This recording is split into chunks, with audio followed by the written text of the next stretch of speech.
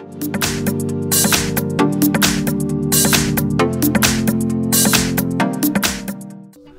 I have InFocus M810 and let me show you how to enter here the recovery mode on the following device. So at the very beginning let's start by pressing the power key, choose power off and wait until your device will be completely switched off. So then let's use the micro USB cable connected to a PC or to the charger and simply connect your device with this cable.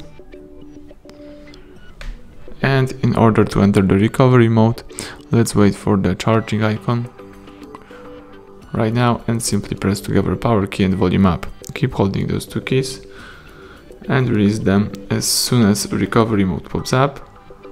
So let's wait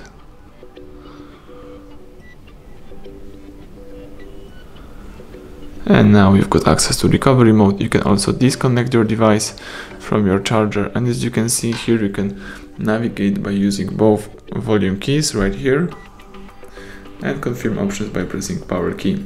Here you've got information about your system.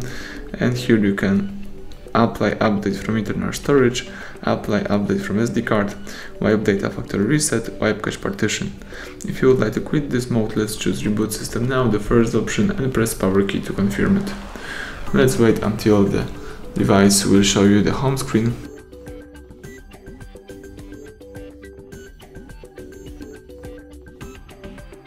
Alright, so everything went well, thank you for watching, please subscribe our channel, leave thumbs up under the video.